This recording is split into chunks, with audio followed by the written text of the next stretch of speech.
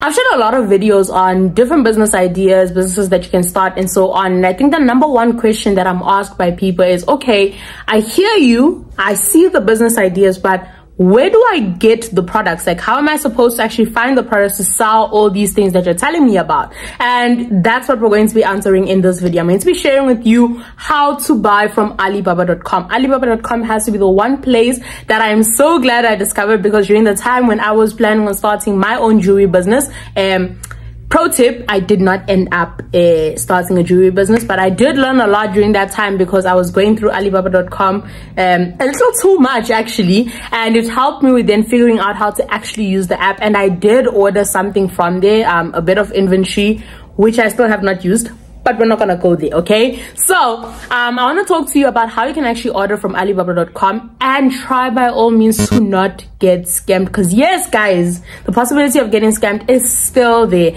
And i'm just trying to help you to make sure that you don't end up having certain issues that you could have avoided if you knew certain things and that's what we're going to be discussing in this video. There are a lot of tips that i'm going to be sharing with you and i need you to pay attention. I need you to stick around till the end of the video because every single thing that i'm going to be sharing with you is very important in actually getting suppliers who are actually going to be working with you and that actually can provide you with the inventory you need to start that business and that you can build long-term relationships with that's the most important thing. You don't want suppliers or rather just be changing around suppliers. That's not the best way to do business.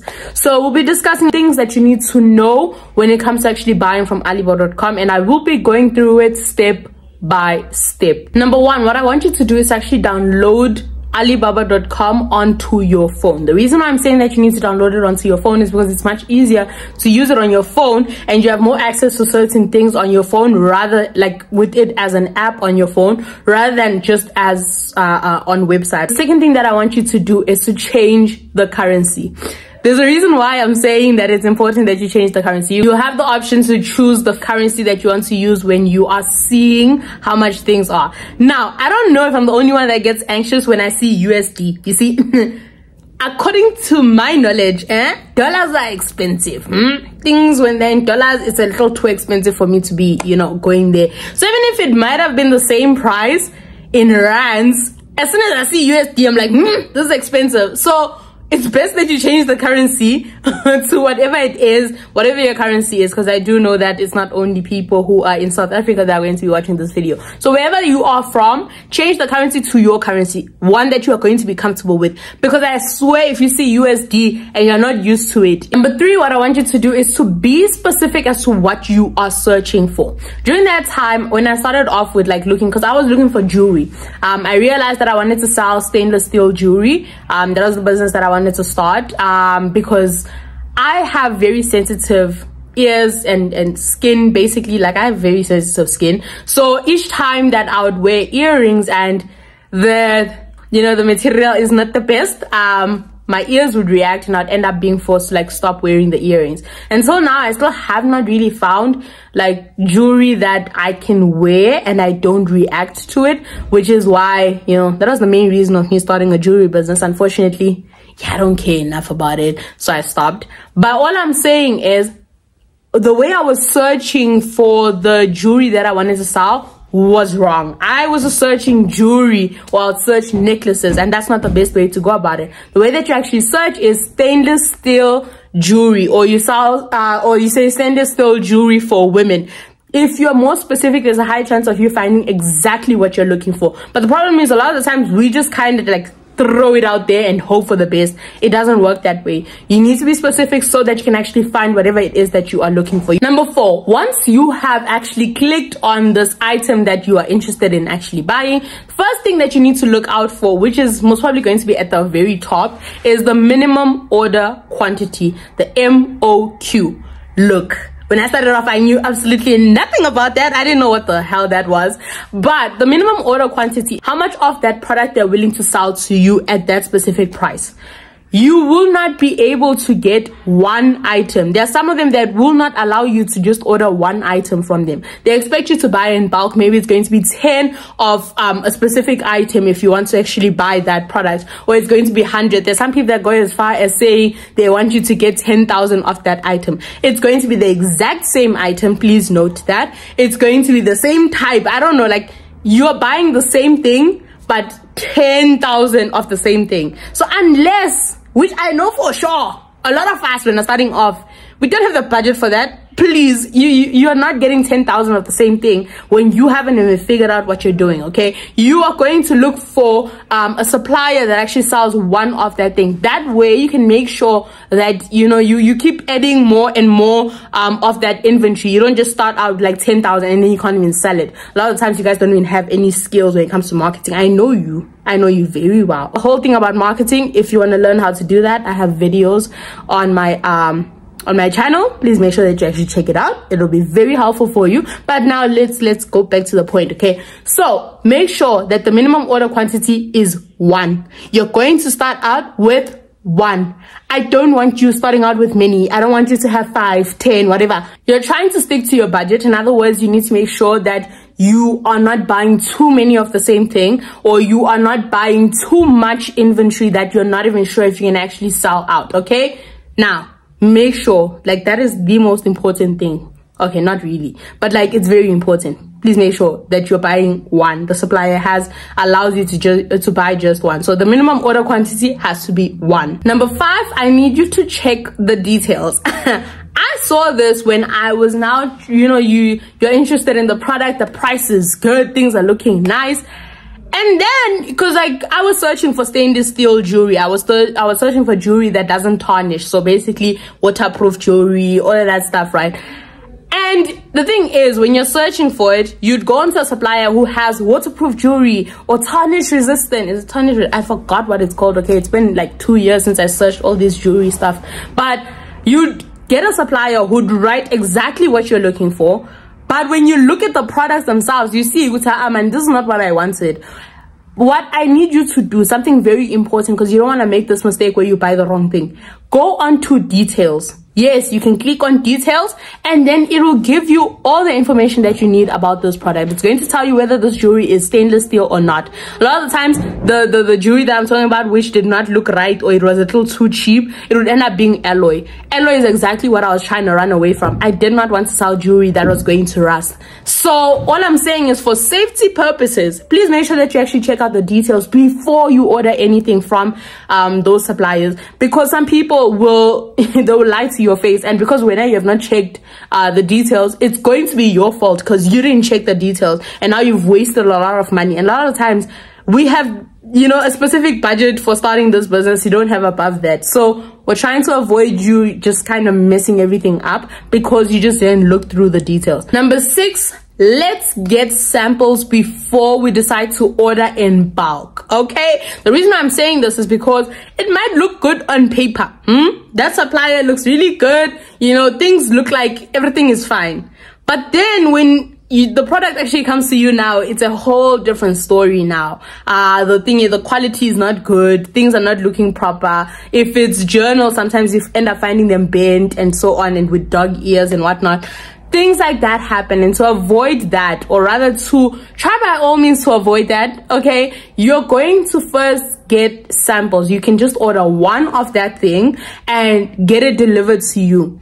Once you get it you check out the quality and you see if it's something that you actually want. Please note something else that's very important. A lot of the people that offer samples tell you that if you decide that you actually want the products that are from them they will minus the amount that you spent on samples when you are now buying their products. So you do not have to worry about the money that you would have spent on samples. And it's actually really good for you to get samples because you also get to like take pictures of the thing and uh basically show your potential clients because um I'm guessing that by the time that you're starting this business, you would have already started marketing your business on social media. Let's let's let's make sure we're doing that, okay? Because I know a lot of people that don't do that. Um, you wanna learn how to do that? I have a video on that. At this point, I have a video on everything, okay? But all I'm saying is you can check that out. All these videos that I'm mentioning are going to be in the description below. Make sure you check them out. Um, anyway, so it's a way for you to show your customer what type of products you're going to have on. So if you have a sample, you can then show your audience that, hey, this is uh, what I'm going to be selling to you guys. You now have proof of the product that you're going to be selling to people. So please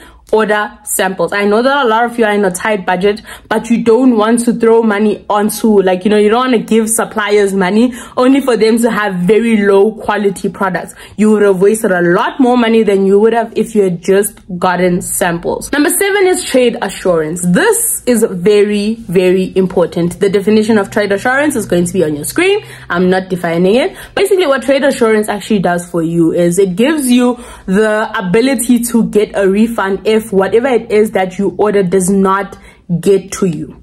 There are possibilities and it happens to quite a lot of people because I've heard people complaining about how their products never arrived or they got scammed. Things like that. You need to look for suppliers that have trade assurance so that if whatever it is that you bought from them, it gets delayed or like delayed to a point where like it still has not come to you after like three months you can get your refund. That way you can always be sure that no matter what happens and no, matter the amount of money that you would have actually paid to get these products, if they do not arrive, you do get a refund. The issue on how much of the refund actually is, that you need to make sure that you confirm with the supplier because yes, you can actually text them and ask certain questions. Um, I will be talking to you about that later on on like a few steps ahead from now. Um but that's something that you can actually do. So i can find out that if this does not like if this product does not get to you can you get a refund? If you are getting a refund how much would you actually be getting? And are there certain you know instances where you can't get a refund? You need to make sure that you've thought of all these things. You don't want to get scammed and it's very much possible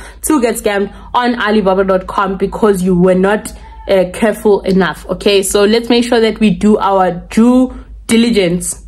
Oh word that word. But please make sure that you actually take that into consideration because it will help with making sure that you do not lose money while you're trying to start your business. Number eight is please watch out for the shipping. Ah shipping fee is expensive eh? if you think these products are cheap let's let's first check out the shipping okay? Because the product might be 30 rand and then you go to shipping and the shipping is around 700 rand. Friend you're paying for shipping hmm? One product is 30 rand. You're going to want 10 products. With that much shipping please no.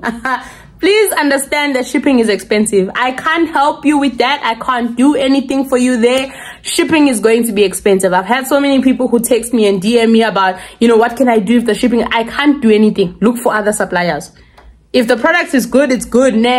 Uh, choose whether or not you're willing to pay that much for uh for shipping because that's just how it is. Unless you have an agent or something in china which a lot of us do not have you're going to have to pay for that shipping okay? And something else i want to put a disclaimer guys. I am not an agent. I am not i am a business owner that bought from alibaba.com had to learn all these things to avoid getting scammed on alibaba.com and that's the reason why i know all of this. I cannot help you when it comes to buying from alibaba.com these tips that i'm giving you are going to be in an ebook about how to start your own business. But that's as far as i can do when it comes to helping you. I am not an agent. I do not have a suppliers list. Maybe some people uh, decide to have you know that affiliate program thingy majiggy but if not for that like i i don't have any affiliate or any you know knowledge when it comes to suppliers i can't help you. You can dm me all you like but the honest truth is i cannot help you with that. And there's a reason why i'm saying this is because people do dm me asking me about this. I'm not an alibaba i don't know agent or whatever. I'm not. I don't know suppliers. I i don't have any you know contacts in china. I wish i did but i don't have it. So that's the reason why i can't offer you any help. There are certain people that do that and those who can you know if i know them i'll direct you to them. Um, but other than that like i really can't help you with that. Now let's move on. Number nine i need you to confirm that refunds and returns are allowed. There's a reason why i'm saying this is because you might need to return that item because it's not good enough. Like it, it's really not. It comes to you it's broken or something is missing and so on and you need to return it. You need to make sure. Please guys you're not rushing you're not going anywhere. The, the, products are not going anywhere. They're, they're not. They're really not. Even if they tell you there's like one of this. Okay even alibaba does doesn't do that. Okay wait, it does it does it does. Like there's one of this thing left. Like please understand something. If you rush, you're going to make mistakes. Take your time, confirm everything, make sure that it allows you to uh, to actually like get a refund or to return the item if it's not in the good quality or if thingy what's called it's broken, it's missing something. Because you're going to suffer. You're going to suffer if you cannot do all these things. Because you're going to have products that you can't even use. You you can't use any of them. And that's going to be very bad for business because now you have to start all over again with getting capital to to find new suppliers all over again. So let's not rush. Let's take our time to figure all these things out Number 10 is lead time. Please make sure that you check how long it takes them to actually create this product that you want. They will tell you depending on like whether it's 10 or 100 of those products, how long it actually takes you. It shouldn't take them too long to actually create this product. The reason why I say that is because if you want to work with them long term, there's going to get to a point in Jesus name where you're going to be now ordering like 10,000 worth of inventory from that supplier. Obviously the supplier has to be good enough for you to have gotten to that point, but we're trying to build a long-term relationship. What will happen 10 years from now when you are now getting orders, 10,000 worth of orders um, in a week or something and now you need to restock. But if they take too long to create the product, it's going to take just as long for you to restock and then like open up the shop for everyone else to start um, buying from from you. And we're trying to avoid that. You don't want to keep your customers you know to, to, to, seem like you're ghosting your customers where they want to buy but then you never have product. And there are so many business owners that i've seen who do that where they just somehow seem to never have any product. Every single time it's sold out sold out sold out.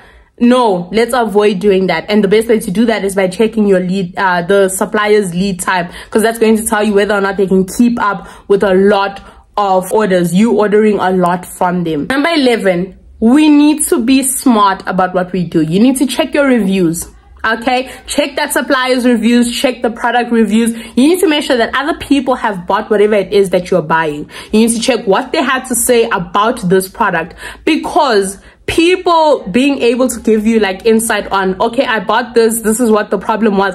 It's going to tell you whether or not you should actually work with the supplier. You don't want problems guys. You don't understand. You're going to waste a lot of money if you're not willing to do your due diligence okay? You need to make sure that you actually take the time to go through reviews. If there are no reviews i'm not saying don't work with them but all i'm saying is you know just watch out okay? Watch out um but all i'm saying is please make sure that you actually go through the reviews if there are reviews. If there aren't any reviews please just know whether or not you're willing to risk it.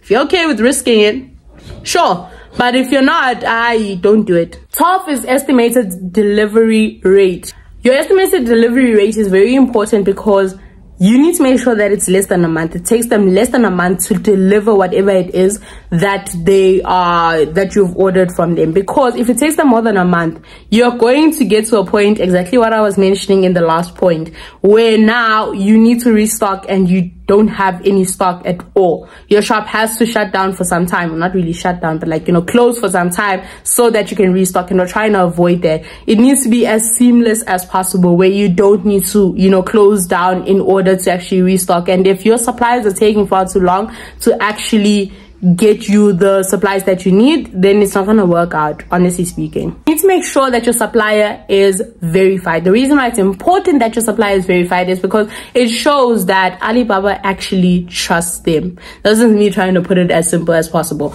If your supplier is verified there's a higher chance that they've worked with more people and they have long-term relationships with different businesses small businesses that they are working with. And this then proves that they can work with you just as as well. Whether they've been on Alibaba for a long time, their warehouses and factories and whatnot have been checked to make sure that the, the, the working conditions are good and the people that are working there are being paid. It's those type of things that you actually need to, you know, take into consideration. You don't want suppliers that are, you know, uh, I don't know another word that I could give as a substitute, but basically suppliers that are toxic, okay? Suppliers that are not paying people, that are using child labor, all of that stuff, it's going to cause problems for you as well. Because when people find out that they're going to boycott your business because you are technically, you know, you are supporting it. So make sure you check that out people are very sensitive about that and you should be sensitive as well because you work with people and if people don't like something you don't like it too okay that's how it works 14 is on-time delivery rate what does on-time delivery rate mean